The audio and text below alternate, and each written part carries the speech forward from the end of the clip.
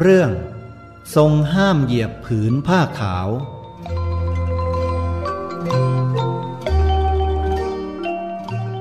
สมัยนั้น พระผู้มีพระภาคทรงแสดงธรรมมีกถา เพราะเรื่องนี้เป็นต้นเหตุ รับสั่งกับภิกษุทั้งหลายว่า ภิกษุทั้งหลาย ภิกษุไม่พึงเหยียบผ้าที่ปูไว้ รูปใดเหยียบต้องอาบัตทุกกฎ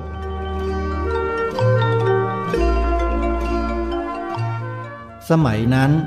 สตรีผู้หนึ่งไม่มีคัน นิมนต์ภิกษุทั้งหลาย แล้วปูผ้ากล่าวว่า พระคุณเจ้าทั้งหลาย นิมนต์เหยียบผ้าเถิด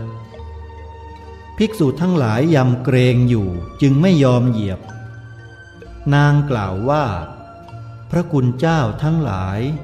นิมนต์เหยียบผ้าเพื่อเป็นสิริมงคล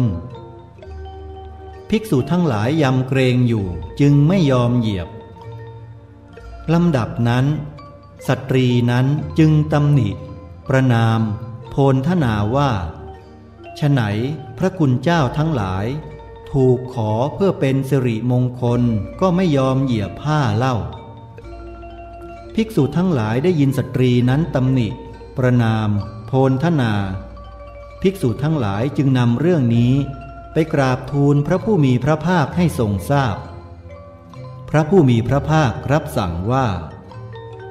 ภิกษุทั้งหลายคฤหัสถ์ต้องการสิริมงคล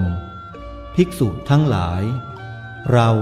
อนุญาตให้ภิกษุที่ถูกขอเพื่อเป็นสิริมงคล เหยียบผืนผ้าได้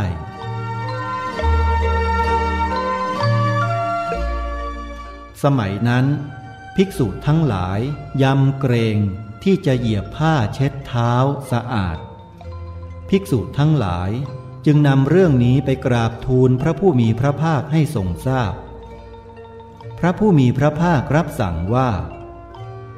ภิกษุทั้งหลาย เราอนุญาตให้เหยียบผ้าเช็ดเท้าสะอาดได้